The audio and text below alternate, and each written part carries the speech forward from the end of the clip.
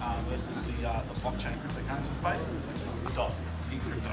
Um, less um, investment products out there today. Um, I will do my best to talk slowly and in the least Australian accent I can possibly do. If that makes sense. Uh, next, please.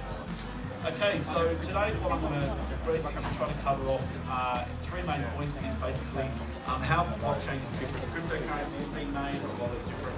Are You're going to identify the places in which blockchain is going to actually change the world, and then the ways in which it's probably not.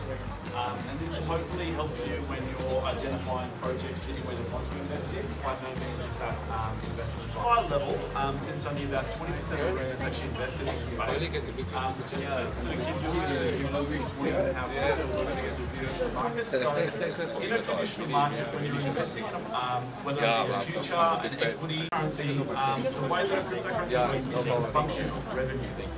So you're buying into the future revenue of that business uh, if that makes sense. So the way crypto should work, like not necessarily Bitcoin, but other cryptocurrency, um, sort of other cryptocurrencies that are created by companies. What um, so the main four things to look at when you're investing in a project. Um,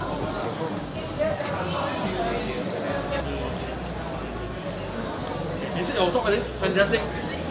开窍了，他开窍。好的。开窍，开窍。